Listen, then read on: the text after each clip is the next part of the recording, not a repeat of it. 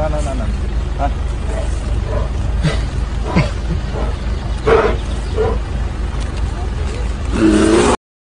I don't think he liked that food.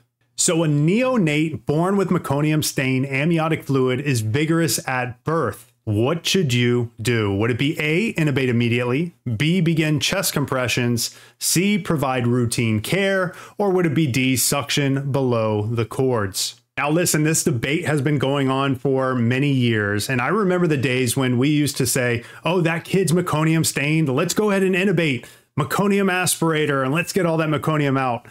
Those days are gone. Look what even this test says. The kid is vigorous.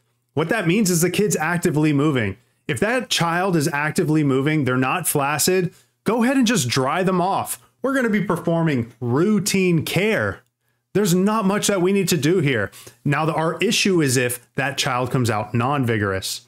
Then the question is can we ventilate? One thing I do want to mention is that meconium is just that child's first stool. And it is possible if that child's going through fetal distress, which is a heart rate less than 120, then that child can defecate during the delivery process. And then, of course, if that kid delivers and aspirates his own meconium, we can all agree that that's a problem.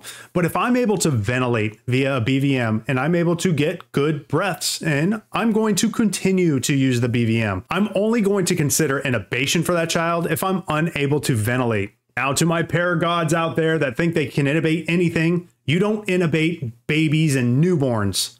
And maybe you have once in your career, maybe. Let's leave that for the hospital. Again, the answer's C.